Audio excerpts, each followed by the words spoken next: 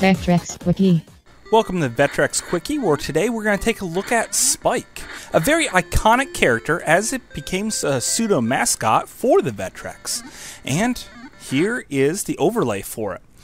It has two colors, a purple and a blue, and you can see the skyline in the background at the very, very top. It's one or two players, and you'll scroll down, and as you see, the controls are Button 1 is for the ladder or cage. Button 2 and 3 is to kick left and right, respectively. And button 4 is to jump. Now, let's put ourselves in the time frame here. Back in 1981, Donkey Kong was a huge hit. So, the Vectrex being a small home arcade machine, they wanted something to capitalize on this. And perfectly, they chose Spike. Now the game plays relatively similar to the Donkey Kong, just make it to the top and you save your girlfriend.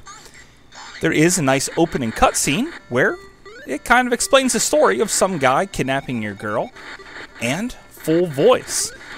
This is one of the largest of the original carts, and half of it went to the voice on this. And I was blown away by the two distinctively different male and female voices. I'm still impressed to this day. Matter of fact, I use robotic voices in my intros. And Spike is part of the reason.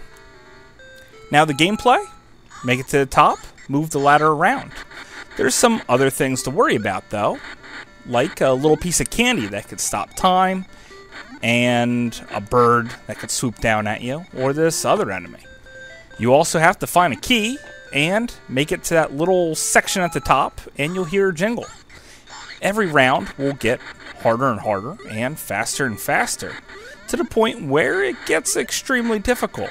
So make sure you have your Vectrex book handy to keep track of your high scores.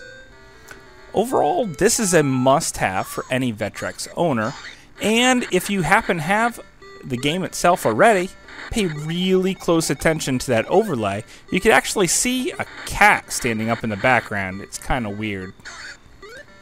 But Spike, it's iconic, it's purple, and it's absolutely a must-have. Thanks for watching Vectrex Quicky.